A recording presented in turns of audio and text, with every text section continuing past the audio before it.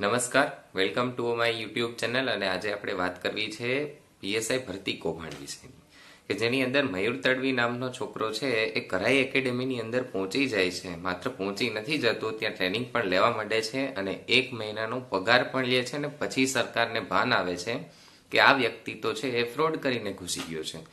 એ પણ સરકારને ખબર નથી પડતી. પણ યુવરાજસિંહ જ્યારે છે, એના બધા પ્રૂફ સાથે આવે છે, ત્યારે સરકારને ખ્યાલ આવે છે કે આ વ્યક્તિ ખરેખર ફ્રોડ કરી અને અહીંયા છે એ ટ્રેનિંગ લઈ રહ્યું.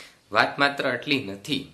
પણ ગુજરાત પોલીસ છે, એ વાત કરતી હોય છે સુરક્ષાની. ગુજરાતની સરકાર છે, એ વાત કરતી હોય છે કે મેં આખા ભારતની અંદર છે, એ સુરક્ષાની અંદર અવ્વલ છીએ. તો સવાલ અહીંયા એ થાય છે કે આ વ્યક્તિ એક મહિના સુધી ત્યાં ટ્રેનિંગ લઈ રહ્યો છે, તો ક્યાં છે તમારી સુરક્ષા? કે જે વ્યક્તિએ નથી કોઈ પ્રિલિમ્સની એક્ઝામ આપેલી, નથી કોઈ ફિઝિકલ એક્ઝામ આપેલી કે નથી કોઈ મેન્સ આપેલી. અને આવો વ્યક્તિ છે એ કરાઈ એકેડેમીની અંદર ઘૂસી જાય છે અને ત્યાં ટ્રેનિંગ લઈ રહ્યું છે. અને એક મહિનાનો પગાર એના ખાતામાં પડી ચૂક્યો છે, તો ત્યાં સુધી તમે શું કરો છો? ક્યાં ગઈ છે તમારી સુરક્ષા? સામાન્ય સંજોગોમાં જોતા તો લાગે છે કે આની અંદર ક્યાંક અધિકારીઓ સંડોવાયેલા છે. કેમ કે સામાન્ય માણસને કરાઈ એકેડેમીની અંદર જવું હોય કે કોઈ કેમેરામેનને છે એ સ્ટિંગ કરવા માટે કરાઈ એકેડેમીમાં જવું હોય તો ક્યાં એને પરમિશન મળે છે જવાની? અને આ માણસ ત્યાં મહિના દિવસ ત્યાં ટ્રેનિંગ લઈ રહ્યો છે. તમે પાછા વાતો સુરક્ષાની કરી રહ્યા છો.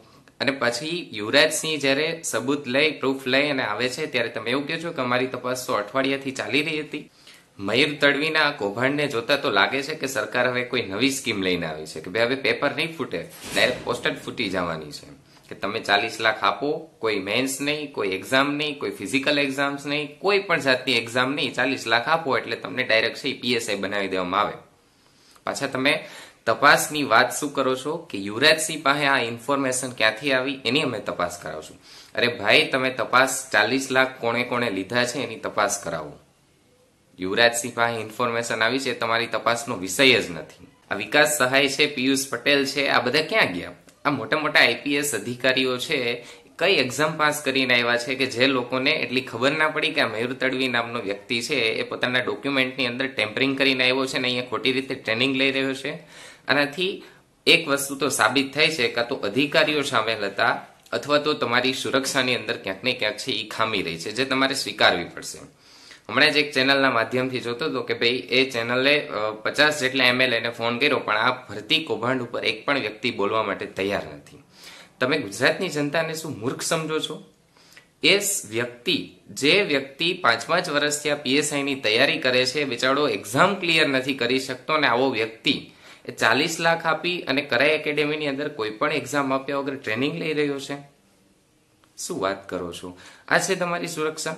ક્યાં ગઈ તમારી સુરક્ષા? જો તમારે ચાલીસ લાખ લઈને આપવી જ છે કોઈને નોકરી, તો પહેલેથી જાહેરાત કરી દો ભાઈ કે ચાલીસ લાખ હશે, એને જ નોકરી મળશે. બીજા વિદ્યાર્થીઓ તૈયારી ના કરે.